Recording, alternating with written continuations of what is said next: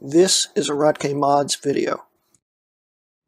Hello, I'm Greg Hrutkay of Hrutkay Mods, and welcome to episode 7 of my 32-bit CPU Mac series. In this episode, I will be showing you how to flash your 1,1 Mac Mini or 4,1 iMac to a 2,1 or 5,1 firmware. In this video, I will be focusing on the Mac Mini. But for iMac users, I will give you a link right here to this page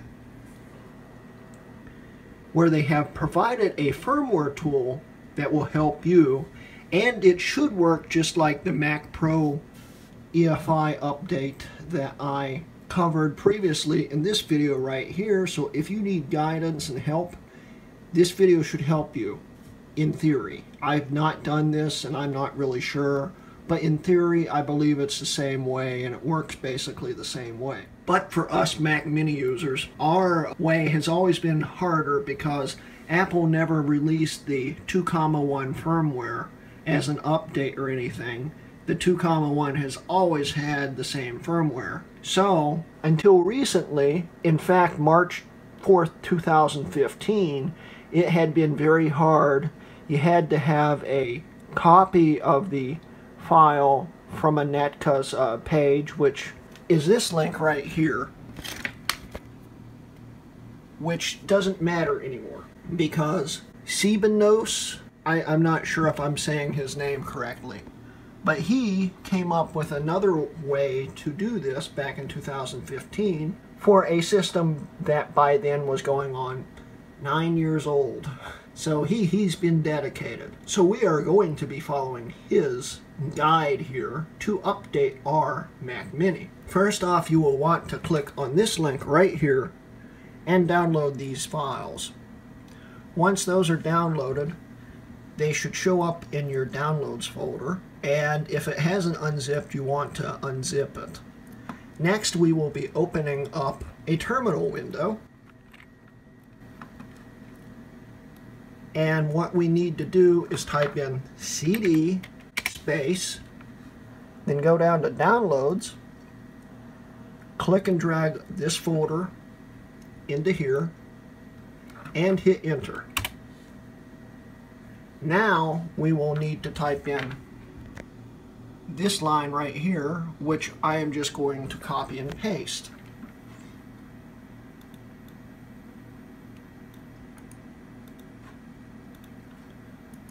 We hit paste and hit enter.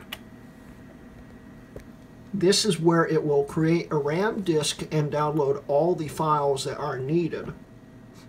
Then this program will allow you to have an option between upgrading to 2, comma 1, which we are going to do, or downgrading to 1, comma 1. We are going to upgrade, so we hit 1 and hit enter. Then we need to type in our password if you do not have a password, this will not work and you need to make a password for your account. We hit enter. It makes the RAM disk. We then close out terminal and shut the system down. And here's one last proof that this is still 1 comma 1. We hit shutdown and turn the system off. Now that the system is off, we will want to press the power button until the front light starts blinking.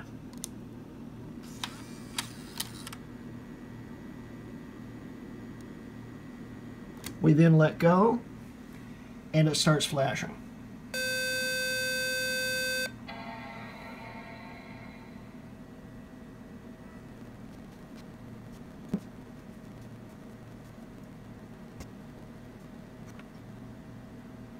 Now the system will restart and we will get a messed up screen. The reason why we are getting this screen is because the NVRAM, or a lot of people refer to it as the PRAM, even though that's not what it is anymore. It's known as the NVRAM now. But we'll just say PRAM. The PRAM is set up for the 1, comma 1, it was never intended for the 2 comma 1. To fix this problem, we will need to shut the system off by holding in the power button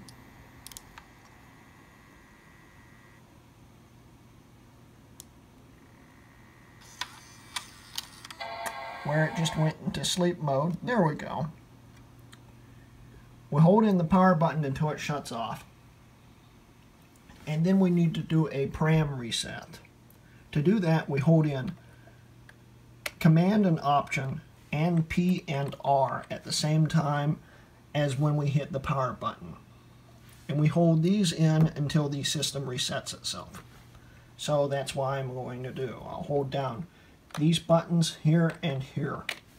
So I'll need to put down my phone for a second. Holding in the buttons and pressing power.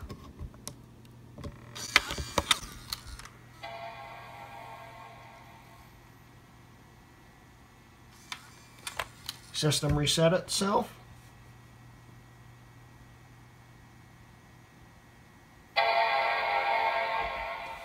And we should all be good now. And the screen is back to normal.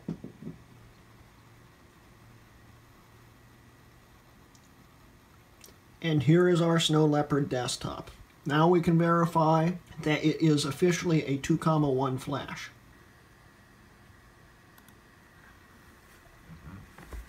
And here we have it, 2, 1. Now we can upgrade our RAM to 3 gigabytes or 4 if you want, but of course, like previously stated in the former videos, 3 is the max it can use. The only benefit you may get with 4 is it may treat it like dual channel, but honestly, there's really no big difference, if any at all. So go with 3 gigs, which I will be doing in the next video, episode 8. Anyway, thank you for watching, and this has been a Hrutkay Mods video.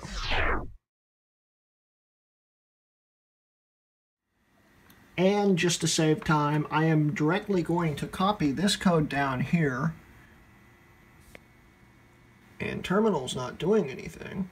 Why isn't it turn? What what's going on here? Okay, terminal's not working. Okay, with all this said and done, let's hit enter. And we are done, which it shouldn't have done that. Huh. And when it kicks off, we want to hold it in our power button until the front light flashes. And once again, it's not doing anything. What the? And we'll want to hold down the power button until the front light flashes. What the?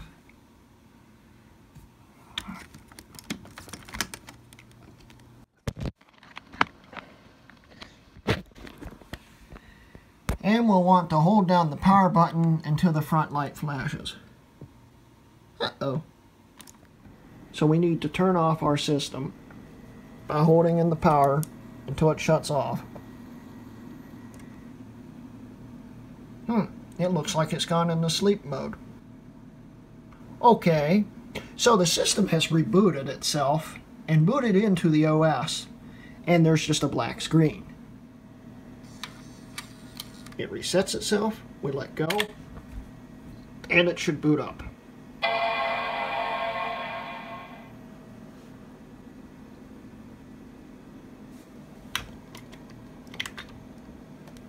Oh, the cable was disconnected. Well, that's funny.